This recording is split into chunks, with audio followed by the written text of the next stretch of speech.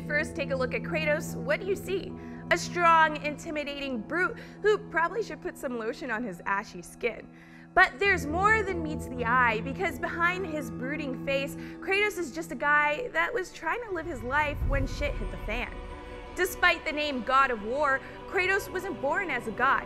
He was technically a demigod whose mother was immortal and whose father was the gods of all gods, Zeus. Kratos was raised by his mother and didn't know his father's identity.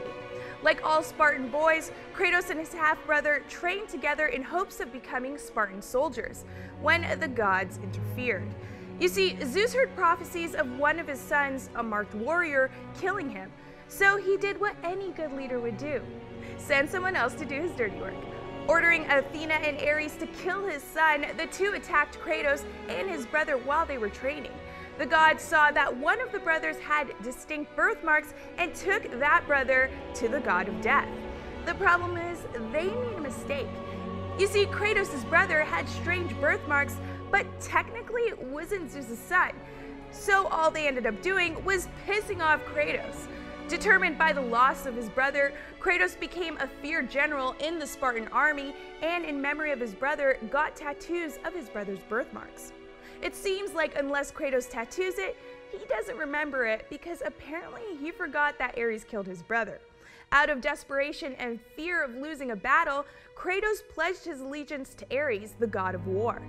Kratos goes on to serve as a warrior for Ares by spreading chaos. He is ordered to attack a village and kill everyone in the village's temple. Unknown to Kratos, this was Ares' attempt to sever Kratos' ties to humanity by putting Kratos' wife and daughter in the temple too. Kratos, in a blind rage, ended up killing his whole family. After he realized what he'd done, he burned their bodies with the rest of his victims and the temple. Not only was he devastated, he was also cursed by the village's oracle to wear the ashes of his family permanently on his skin. Filled with hatred, Kratos broke his allegiance to Ares and was tortured for his betrayal, but was later free after carrying out several of Ares' tasks. After that, he was still haunted by the nightmares of killing his family and vowed to serve the gods to repent. That's when Athena offered to ease his pain if he killed Ares. So he did what she asked killed Ares, and became the new god of war. But he was still haunted and continued to serve as a god. That was until a threatened Zeus tricked Kratos into giving up his powers and killed him.